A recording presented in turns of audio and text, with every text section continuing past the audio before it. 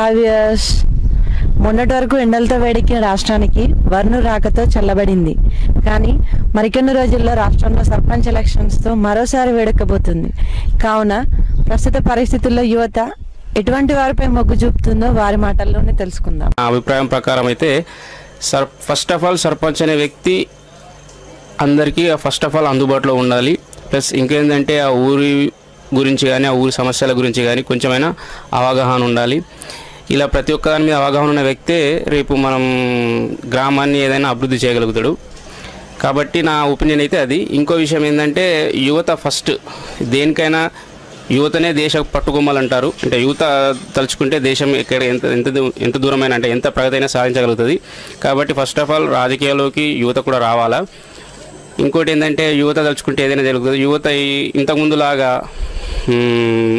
మద్యానికి కానీ ఓటుకు ఓట్ల ఓటు వేసేటప్పుడు పైసలకు కానీ లొంగకుండా మంచిగా ఆలోచించి మనకు ఎవరైతే కరెక్ట్ అని అనుకుంటారో వాళ్ళకే సపోర్ట్ చేసి ఆ యువతను గెలిపించాలని నా అభిప్రాయం. ఎలాంటి డబ్బుకు కానీ మరియు మద్యానికి కానీ బానిసలు కాకుండా ఎవరైతే మంచిగా పని చేసి ఎవరైతే అసలుగా సర్పంచ్గా మనకు ఉపయోగపడతారో వాళ్ళకు మద్దతు ఇచ్చే మద్దతు ఇచ్చే విధంగా యువత ముందుకు రావాలని నేను ఆశిస్తున్నాను.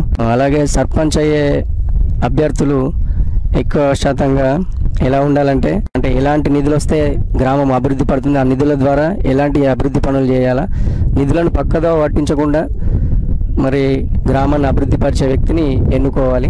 అధికారంలోకి రాకముందు సర్పంచ్కు ఎవరైతే అభ్యర్థి పోటీ చేస్తుండ్రో అదే ఆలోచన ప్రకారం కానీ అధికారంలోకి వచ్చిన తర్వాత కూడా అహంకార పూరిత వైఖరి కాకుండా మరి అభివృద్ధి పదంలో తాను తను ఎలా ఆలోచించాడో అదే విధంగా అభివృద్ధి చేస్తాడని ఆశిస్తున్నాను. పూర్తిగా గ్రామం మీద అవగాహన లేని పట్టు లేని ఒక వేలుముద్ర వాళ్ళని తీసుకొచ్చి గ్రామంలోని సర్పంచ్ కుర్చీలో కూర్చుండేటేస్తే పూర్తిగా అవగాహన లేని మనుషులు అవగాహన లేని పనులు చేసేసి గ్రామానికి ఇంకో ఐదేళ్ళు ఎన్నికే తీసుకెళ్తారు తప్ప ముందుకు వెళ్ళే అవకాశం లేదు.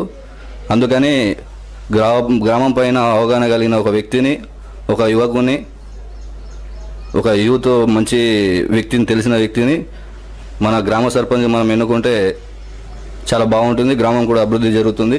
మందుకు బానిసాయి ఓటుకు నోటుకు బానిసాయి ఓట్లు వేసే కాలం వెళ్ళిపోవాలి. సర్పంచ్గా నిలబడాలంటే ఒక తెలిసిన ఎడ్యుకేషన్ వ్యక్తి కానీ ప్రజల సమస్యలపై అవగాహన ఉన్న వ్యక్తిని కానీ ఆ ప్రజల సమస్యలపై అవగాహన పెంచుకొని సత్వర పరిష్కారానికి మార్గాలు చూపే వ్యక్తిని మాత్రమే ప్రజలు ఎన్నుకోవాలని నా ఉద్దేశం. నా తెలంగాణలో టూ టర్మ్స్ ఒకే రిజర్వేషన్ అనే రెవల్యూషన్ని మన రాష్ట్ర ప్రభుత్వం తెచ్చింది. దానికి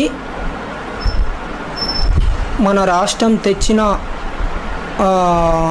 రిజర్వేషన్ టూ టర్మ్స్ ప్రక్రియ అనేది రాజ్యాంగాన్ని కుల్లబొడిచినట్టే అవుతుందని భావిస్తున్నాను.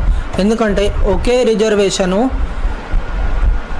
ఒకే కమ్యూనిటీకి చెందిన వ్యక్తులు పాలించడం ద్వారా ఒక టర్ము రిజర్వేషన్ అనేది వెనుకబడిపోతుంది. కాబట్టి వచ్చిన వ్యక్తులకే అవకాశం ఉంటుంది. అంబేద్కర్ గారు ఏం చెప్పారు? నీ కమ్యూనిటీ నుండి నీ సమస్యలను తీసుకుపోవాలంటే నీ నుంచి నీ నాయకుడు ప్రజల్లో ఉండాలి అని చెప్పారు. దానికి అనుగుణంగానే ఈ రిజర్వేషన్ల ప్రక్రియ ఉంది. దీన్ని కూడా రెండు టర్మ్స్ ఒకే రిజర్వేషన్ చేయడం ద్వారా దానికి వ్యతిరేకమే అవుతుందని నేను భావిస్తున్నాను. కాబట్టి ఆ టూ టర్మ్స్ రిజర్వేషన్ ఏదైతే ఉందో దాన్ని వెనక్కి తీసుకుంటే బాగుంటుందని నా ఉద్దేశం. కు మేలు చేసే వ్యక్తి మనకు కావాలా? కనీసంగా కమ్సకం టెన్త్ పదో తరగతి దాకా చదువుకున్న వ్యక్తి అయితే మనకు బాగుంటుందని నేను అభిప్రాయం. ఎందుకంటే ఈరోజు ఆ, భార్యలను నిలబెట్టి భర్తలు పెద్ద పెద్దరికం చేసుడు ఆ, ఆ, వాళ్ళను నామాత్రంగా ఉంచి వీళ్ళు చలాయించుడు. ఈ పద్ధతిని మార్చాలి. ఏదైతే